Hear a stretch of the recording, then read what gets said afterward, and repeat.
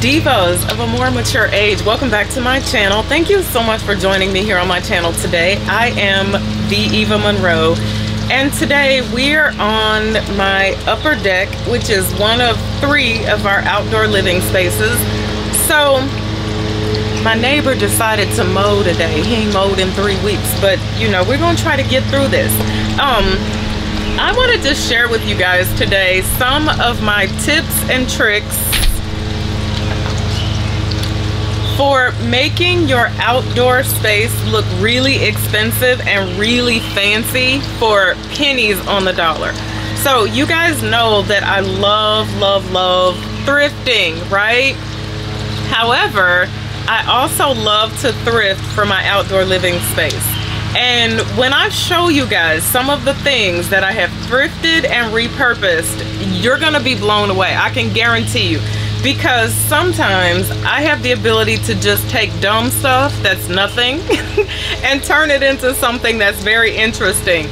This wall of water over here, built by yours truly. Yes, I've 100% built it from scratch. The glass is actually a shower door. So I'm gonna show you guys some things that I have um, purchased from thrift stores or yard sales or things I may have had around my house or maybe I took something out of the trash. There's a wasp flying around and I turned it into something really jazzy. So let's jump right in. Okay so the very first item here she is a whole vibe. And all my wig wearing sisters y'all know what this is right? This was a wig mannequin. And what I did with her was I took a saw and I chopped the top part of her head off. Disrespectful, I know, but I pulled all the styrofoam out of her. I stuffed her head with potting soil and I put an asparagus fern in there.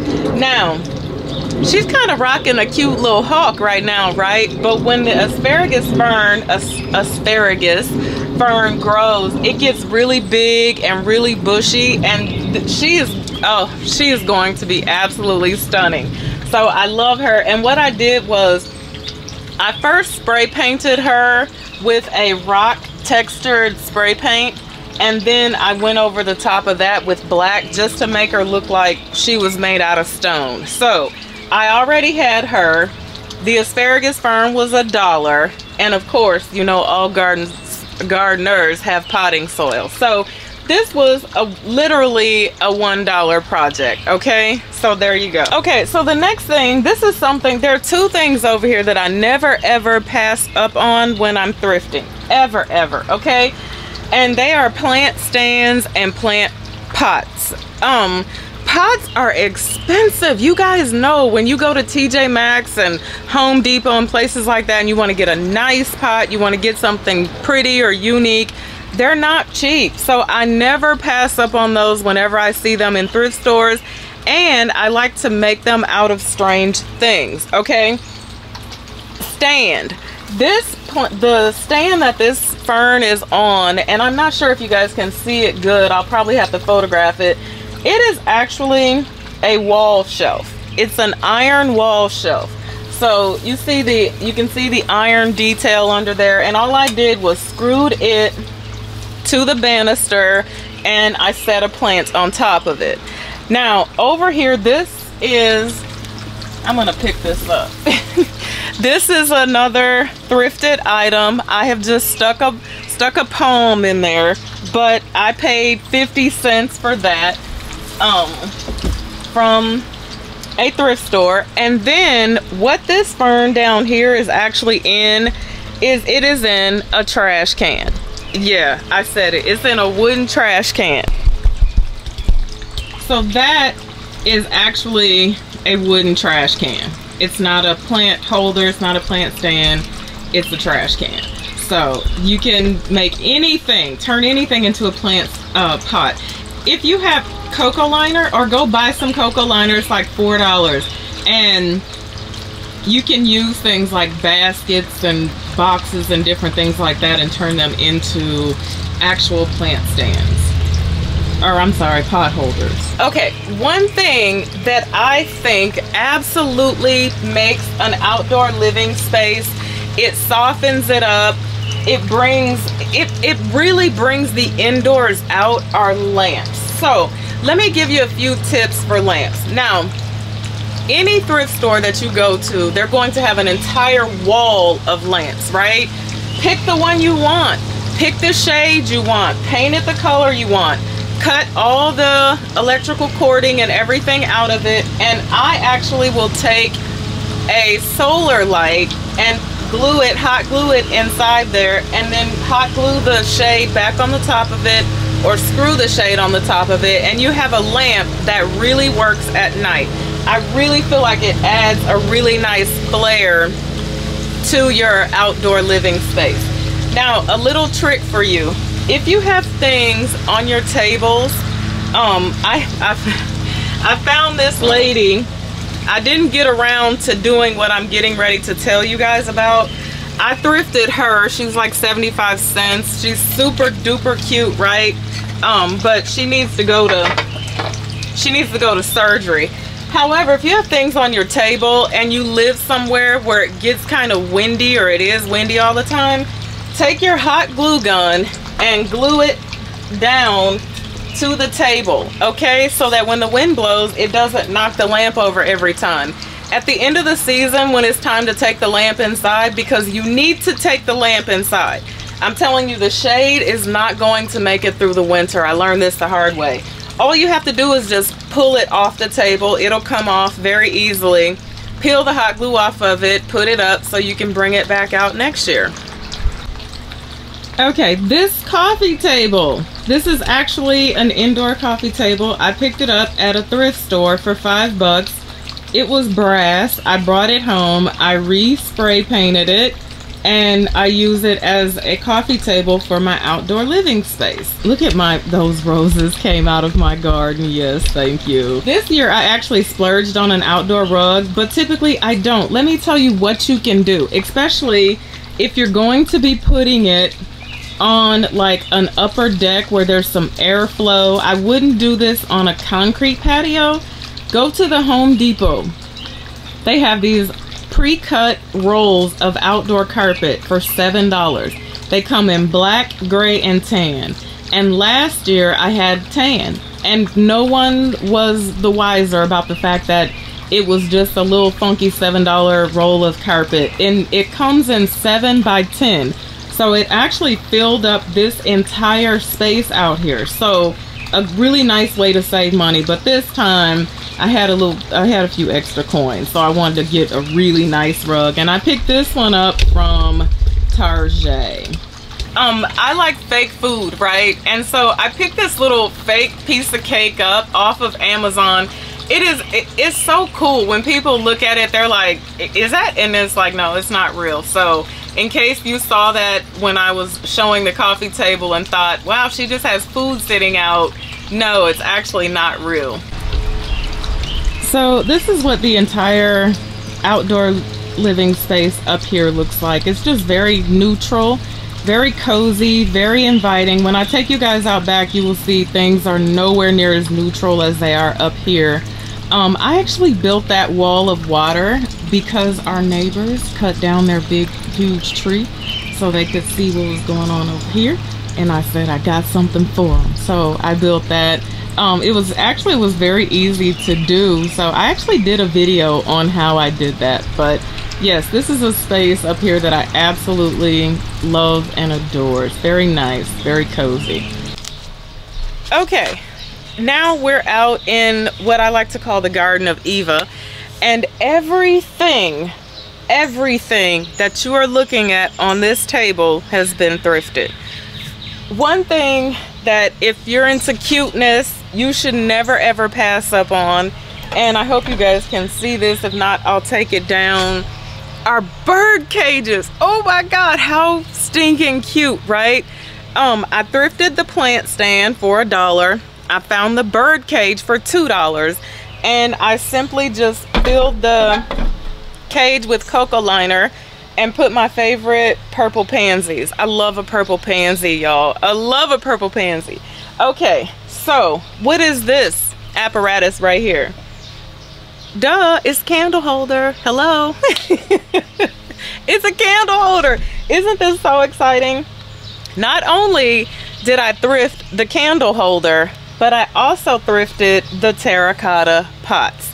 And this is, um, oh geez, she's something blue that's in here. And then every um, other one in the middle are purple pansy. And then in the middle, we have purple pansies. But, oh, what a love, right? Just, just so super duper cute. We had rain last night, so everything got rained on and I've been working back here today on some things. I made a succulent pot, so that's my, my dirt and my mess that you see. Um, absolutely love everything on this table. Okay, so this is another outdoor living space. Let me tell you what was thrifted out here, okay? We can start with the lanterns. Yes, she thrifted the lanterns. Um, the lanterns are 100% thrifted. I got two of them together and then I found the big one at a yard sale. Um, on the coffee table, one thing I never ever pass up on when it comes to purchasing things for my outdoor living area are like big, beautiful, colorful bowls and things like that. And that bowl that you see there in the middle, it's full of potpourri, but I love the colors of it. It tied in so well with the area candles candle holders. I love having those in my outdoor area. I don't spend a lot of money on them. Most of the time i try to buy the fake ones but i love sitting outside and having real candles burning. So unfortunately if it gets really hot where you live and you leave them out in the heat sometimes they will melt. Like i don't know if you noticed the gangsta lean on the one in the case in the candle jar with the lemons. It has melted because I had it in the sun so I had to relocate it.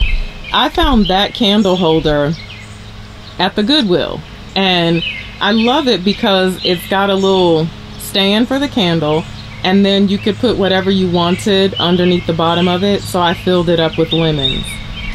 You guys I thrifted the furniture out here Yes, I did.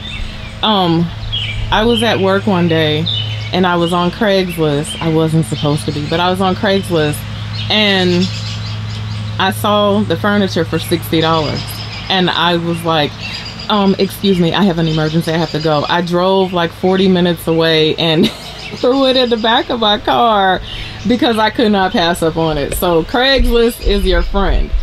Um, we have another lamp here and you guys saw me actually make that lamp last year. So um, I did a tutorial on that. And my fern my ferns are missing. They're not hanging up in here because they're sitting here getting taking in a little bit of sun today. So I have to show you guys this rug this doormat. Um, because this is this is out my this is the she shack in the back the garden of Eva and this is where I come and do nothing, think about nothing, and be absolutely nothing. and a friend of mine actually makes prints these doormats and he made this one for me. And I thought, I was like, you know what? That's so perfect. So parental discretion advised, but when I'm out here, that is so true. Zero given. Okay, one of my favorite repurposed items ever is this wheelbarrow. This was actually my wheelbarrow that I used for gardening for 10 years, over 10 years. And one day I went to push it and it just basically fell apart. And so it has some sentimental value. I cannot get rid of it. So I was like, you know what? I'll turn it into a flower pot, a flower bed. So I drilled a bunch of holes in the bottom of it filled it up with potting soil, and I just put every delicious, beautiful color that you can think of. I mean, there is purple, pinks, fuchsias, green, orange, and it's filling in beautifully. But if you ever find an old wheelbarrow, I definitely say pick it up. That's Hammock Island. So we lay back there and chill and watch movies. We we put up the uh, theater screen and actually just chill and watch movies back there. It's a whole vibe when it's dark outside and you're under the stars. A whole vibe. I had to show this because it it's gorgeousness, right? Look at that. Um, I actually thrifted the short blue um, vase is actually a water feature. I got that from a yard sale like four years ago and it used to be in our front yard functioning as an actual water feature but um, we put a pond in front as well so I took it down. And I put this little area together with the wind spinner and oh just delicious right? I love it. The garden ball I did have to pay full price for that. Um I thrifted this bird bath. It was actually just a like resin type bird bath and it was white. So I picked it up, I repainted it, I painted it red, and I put a little solar fountain in there. And so the hummingbirds, who are my friends, I need to fill their thing up. They come, they eat, they have a bath, and they love me and I love them back. I know it sounds weird. Okay, so this is a flower bed that's way out back that I have. I actually just put this in this year and I just crammed it full of everything that I love. All of the flowers and everything that I love is in here. It's so colorful, it's so pretty. But if you look right there in the middle, you can see a pair of pink hands sticking up out the ground. and that's just an example of what could happen to somebody if they come out here messing around. No, I'm kidding. Um, someone gave me a mannequin, a full mannequin. I got rid of it because I didn't have space for it but somehow the arms stayed in the garage. And my husband was cleaning out the garage one day and he's like um i'm gonna throw these away. And i was like no i'm gonna use those in my garden.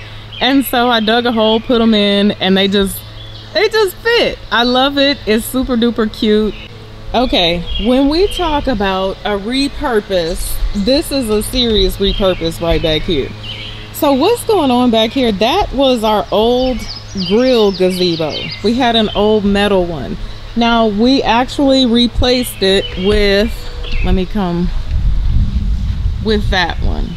I thought it was just much nicer. Um, I wanted to keep it and I wanted to turn it into a little garden arbor.